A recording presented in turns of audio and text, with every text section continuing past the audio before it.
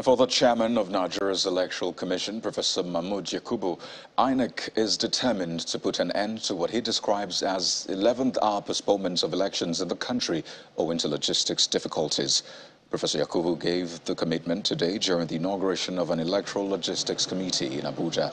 The committee draws its membership from the armed forces and other federal agencies, including the Port Authority and the Nigeria Customs Service.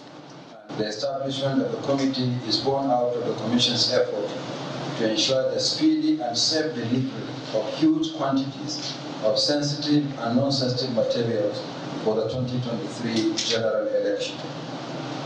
The logistics for the clearance, handling, custody, delivery and distribution of enormous quantities of election materials is the biggest operation Nigeria undertakes every four years. For effective coordination, the Commission believes that every national asset must be mobilized for the exercise. We are determined that never again should elections be postponed at the 11th hour on account of logistics. This is why we are mobilizing every national asset and starting the engagement early. It is exactly 112 days uh, to the next general election. So we learned a lot from what happened in 2019, and therefore the planning must start early uh, so that we achieve the goal of delivering much of the materials long before the election.